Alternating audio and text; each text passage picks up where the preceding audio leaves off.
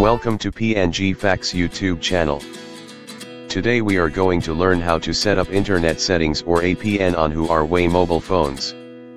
The internet connection is shared by many functions on your phone such as internet browsing, receiving email messages and installing apps. You can access the internet as soon as you've inserted your SIM in your Huawei mobile phones. If this isn't the case, you can set up your phone for internet manually by following the steps below. Step 1. Find access point names. Press settings icon. Step 2. Now press mobile network. Step 3.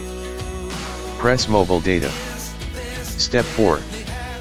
Press access point names, APNS, below the required SIM. Step 5. Press the menu icon. Step 6. It's time to create new data connections, press new APN.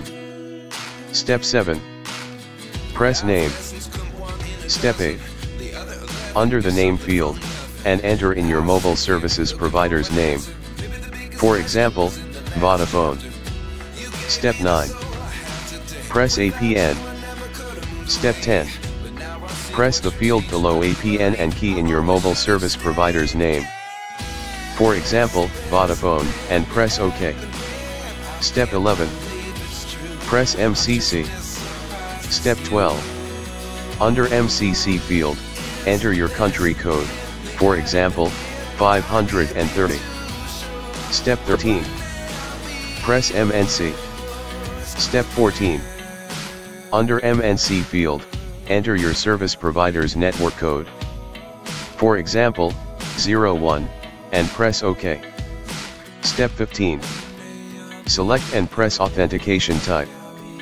Step 16. Under the authentication type press PAP. Step 17. Press APN type.